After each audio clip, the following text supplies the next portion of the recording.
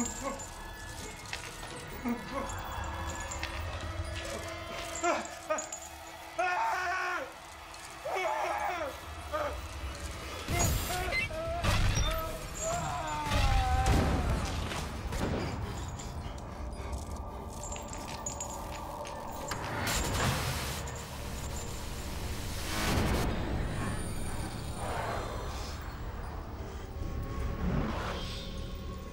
Troy.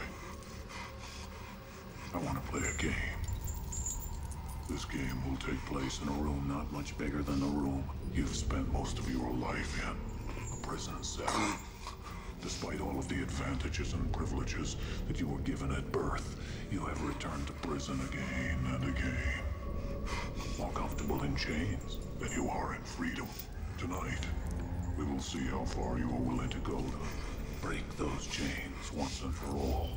Live or die, Troy. Make your choice.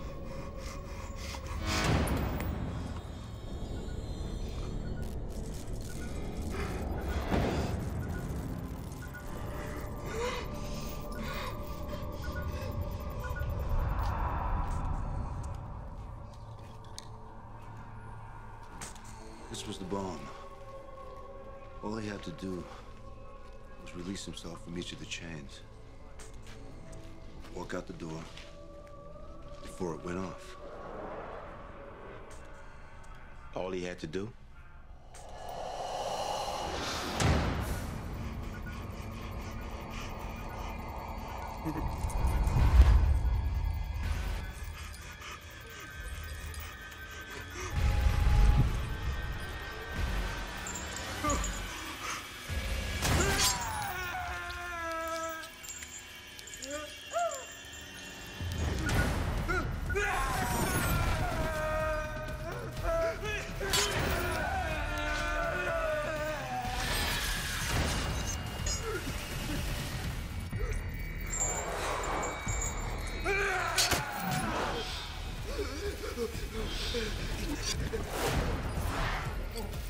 Ah!